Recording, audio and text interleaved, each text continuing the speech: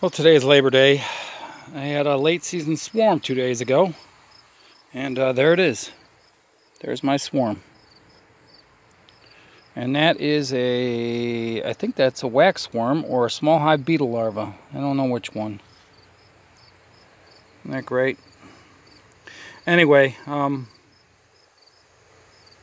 what I'm doing is uh, sometimes people have a problem with uh, their chickens jumping over their fences. And when I got my chickens back in the day, they decided they were going to go over the fence.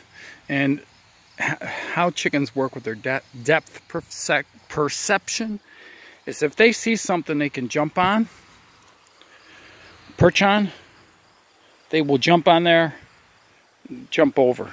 So what I did was I took this fence.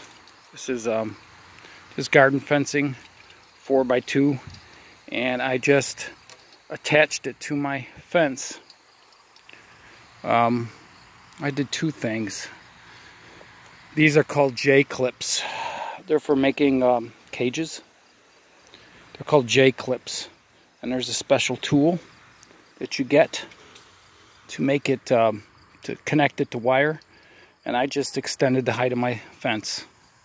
So what is that, about uh, 18 inches, 24 inches? They can't perch on this, they don't see this as anything they can land on. So they don't go over it. So I haven't had a problem with chickens flying over that fence. I did that around my entire my entire yard. And actually, this is my makeshift gate and they don't go over this because they don't see a perch to perch on it. So but if you see all the way down that's what I did. And you can also screw it on there. I've done that too.